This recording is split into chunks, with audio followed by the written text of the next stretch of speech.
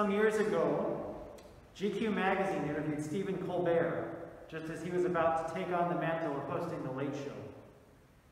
He talked about his life and his career with witty humor and heartfelt authenticity. And buried in and among the anecdotes of his life and his takes on television and politics and many other issues was a simple but powerful theological statement. He said, You gotta learn to love the bomb. He first explores this in terms of his early days doing stand up comedy. Now, I see every comedian, even the best ones, bomb sometimes, especially when they're getting started. There are always nights when the audience just isn't having it, the jokes aren't landing, the material is just not fun. Bombing is awkward and uncomfortable, probably because telling jokes to a room full of people who aren't laughing is the exact opposite of what a comedian wants to be doing. It's utter failure. Comedy, he says, helped him learn what it means to love the bomb. In comedy, everybody bombs. Learning to love the bomb helps you keep going. And better yet, to even enjoy what might be otherwise unenjoyable. Colbert says, It took me a long time to really understand what that meant. It wasn't, don't worry, you'll get it next time. It wasn't, laugh it off. No, it means what it says. You gotta learn to love when you're failing. The embracing of that, the discomfort of failing in front of an audience, leads you to penetrate through the fear that blinds you. Now, see, I trust Colbert when he says this because he speaks with a wisdom that comes from more than just a few bad shows. Stephen Colbert is the youngest of 11 kids. When he was just 10 years old, his father and the two brothers closest to him in age died in a plane crash. As anyone would be, he was completely traumatized. His life has been an exercise in learning to love the bomb. He says, Boy, did I have a bomb when I was 10. That was quite an explosion. And I learned to love it. That might be why you don't see me as someone angry working out my demons on stage. It's that I love the thing that I most wish had not happened. Wow. Did you catch that? He learned to love the thing he most wishes had not happened. Not to rationalize it, not to learn to be happy about it, but to love it. Throughout the interview, the reporter explores how Colbert's grief influenced his life, how his sadness and anger and uh, gratitude and guilt eventually shaped him into the genuinely grounded joyful person that he is. It's not that he doesn't have his demons but they don't control him because he learned to love the bomb. He's made peace with the fact that what he has suffered is what makes him who he is. This is what runs through my mind today, hearing about, uh, hearing Isaiah write about Cyrus, the king of Persia. Cyrus is a foreigner who worships foreign gods, and yet Isaiah names him God's anointed. The word for anointed in Hebrew is Messiah. Cyrus is God's Messiah. Why does Isaiah call this idol worshiping foreign tyrant a Messiah? Because his conquest of the ancient Near East brought an end to the saddest and most traumatic chapter of Israelite history in ancient times the Babylonian exile. When Cyrus conquered Babylon, God's people were able to return home.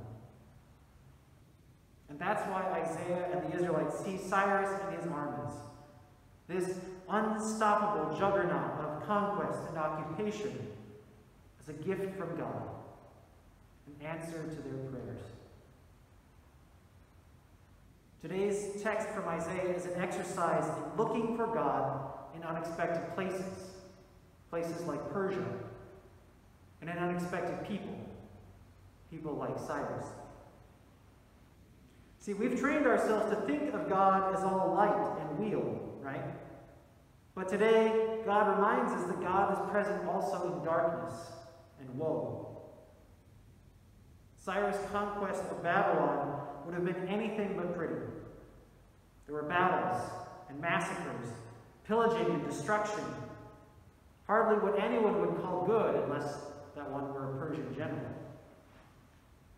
And yet, Isaiah says, this is God's doing. Isaiah invites us to look at all this suffering and death and see God at work. He wants us to look into this misery to learn to love the bomb. It's easy for us to see God in joy and beauty, to see God as light, and to see the absence of light and darkness as the absence of God. But we know that darkness also is good, right? Night is when our bodies rest. The darkness of caves or dense forests allows for an entirely different variety of life to thrive. Even blindness sharpens other senses like hearing and touch. This is why, even though we might abhor it, when we find ourselves in the throes of pain and misery and ugliness, we may still be able to see God at work, often in ways that we never imagined. Now, I'm not suggesting that God causes evil, but neither is God absent from it. God created this world, and God has entered into it to dwell among us to face the evils we face, not to hide from them, not to be absent from them. Our image of God's response to evil is the scandalous image of the cross.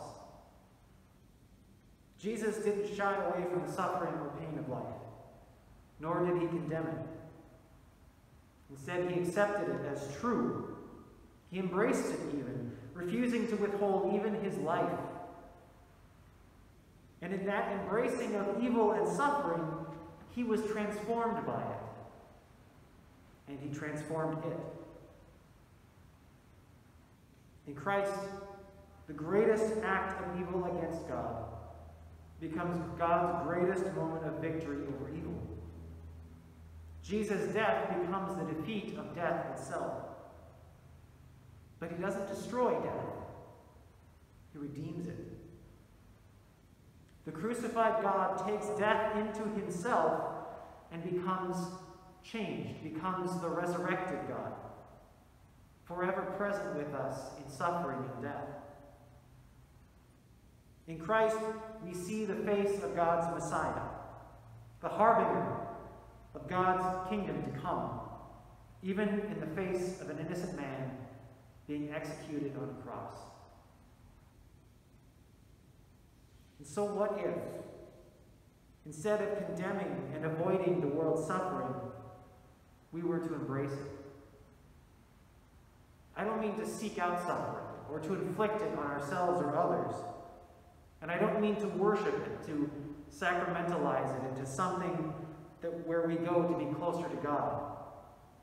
No, I mean to embrace it, like Stephen Colbert to learn to love the things that we most wish had not and did not happen, to learn to love the bomb. Loving the bomb doesn't mean being glad about it. It doesn't mean telling ourselves that God is doing this to us as part of some grand plan or some mysterious way of making us stronger. Loving the bomb means holding all of that evil and suffering and entering into it, looking for the creative love of God, which is capable of transforming and redeeming it. Now, it's, it's hard for me to talk about this because it's not something I can explain and teach you. It can only be experienced. I know because I've experienced it. Like Mr. Colbert, I had one heck of a bomb when I was a child. I lost my mother to cancer at the same age that Colbert lost his father and his brothers. So I've been to that pit. I know its corners and its niches like the back of my hand. I've cried myself to sleep. I've railed and raged against the injustice of a universe that could so callously rob a child of their parent. I have gazed into that darkness, and in it I have seen the face of God. In the midst of that darkness, God has walked with me, forming me to be the person I am now. I realize that without that experience, I would not be me. I'd be someone else. Because I love who I am. But not only that, I also love who God has made me to be, the gifts that God has given me through this. Gifts like my stepmother. Gifts which have been a blessing to me to help me bless others. Because I love these things, I also love the thing I most wish had not happened. I've learned to love the bomb. Because I love the bomb, I have seen God's face in the darkness. I've been shown how to embrace and hold suffering and be transformed by it. It's a lesson that I still learn every day. But because of that, the terrors of this world no longer have as much power over me as they once did. God has given me hope, which penetrates the fear that would blind me. Children of God, I can't tell you with any certainty where God is in all this mess. I can only tell you where I've seen the Messiah. And I'm telling you that I have seen Jesus in death, in pain, in suffering, in oppression. I have seen that even though our bones are dried up, Jesus brings the promise of new life. The promise of a better world which will rise from the ashes of this one. But only if we face these challenges with love and with hope. It's so easy to be without hope these days. So easy to give into anger and despair and frustration. I wonder if this is our call as Christians in this time, this time of COVID and climate change and disease and unrest. If this is our invitation to stare into the darkness and to look for the face of God. What the world needs most right now might be more Isaiahs, more people to point out the Messiah in the faces we don't expect. So lift up your eyes, children of God. Look to the hills from where our help comes. But don't forget to turn and look at the darkness as well, to gaze into the face of death. Do you see the face of God there? When you do, be sure to let us know.